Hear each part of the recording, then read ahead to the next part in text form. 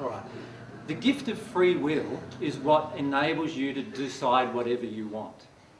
So that gift that God gave you can be exercised in such a way that you then believe you are not connected with God.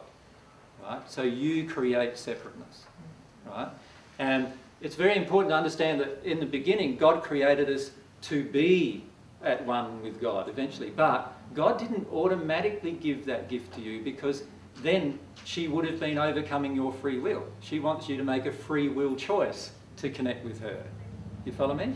She doesn't want you to for, she doesn't want to force herself or force her love on you. Is it love then? No. No.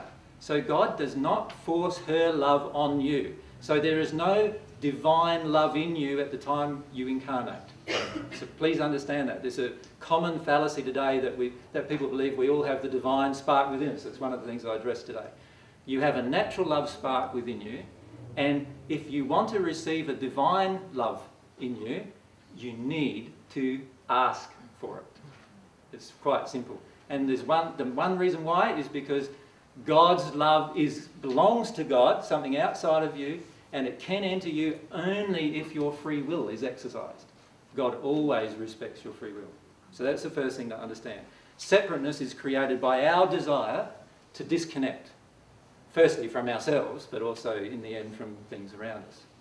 So as soon as you desire to disconnect from your emotion, you're at that moment desiring to disconnect from yourself, because your true self is your emotion, and you're desiring to disconnect from everyone around you, and you're desiring to connect, disconnect from God. As soon as you reconnect with your emotion, whatever that emotion is, and it could be that you're fuming angry, as soon as you start connecting to that emotion, you're now at least connecting with yourself.